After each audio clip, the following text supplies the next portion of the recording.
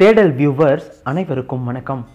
நாம் இன்னைக்கு இந்த தேடலில் எதை பற்றி பார்க்க போகிறோம் அப்படின்னா பூனே மாவட்டத்தில் இரநூறு கிலோ கல் ஒன்று மிதக்கிற அதிசயத்தை பற்றி தான் பார்க்க போகிறோம் இது வரைக்கும் நீங்கள் தேடல் சேனலுக்கு சப்ஸ்கிரைப் பண்ணலன்னா கீழே இருக்க ரெட் கலர் சப்ஸ்கிரைப் பட்டன் அழுத்தி சப்ஸ்கிரைப் பண்ணிக்கங்க.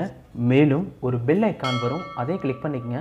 ஃப்யூச்சரில் நம்ம போடக்கூடிய ஒவ்வொரு வீடியோவும் உங்களுக்கு உடனுக்குடனே வந்து சேர்ந்துடும் வாங்க வீடியோக்குள்ளே போகலாம்.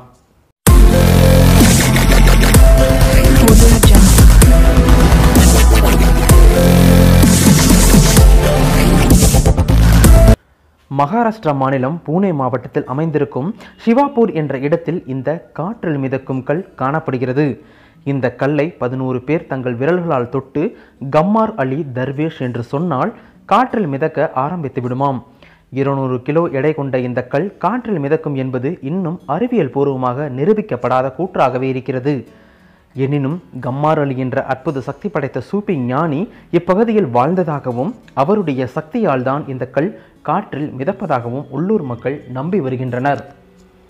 இந்த காணொளி உங்களுக்கு பிடிச்சிருந்தா லைக் பண்ணுங்கள் ஷேர் பண்ணுங்கள் கமெண்ட் பண்ணுங்கள் மறக்காமல் தேடலுக்கு சப்ஸ்கிரைப் பண்ணுங்கள் தேடல் தொடரும்.